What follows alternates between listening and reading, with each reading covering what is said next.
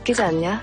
태양이랑 나랑 무슨 악연이길래 그때 그 일이 왜 나한테 이렇게 또 돌아오냐 나 이번엔 같은 잘못 안 할게.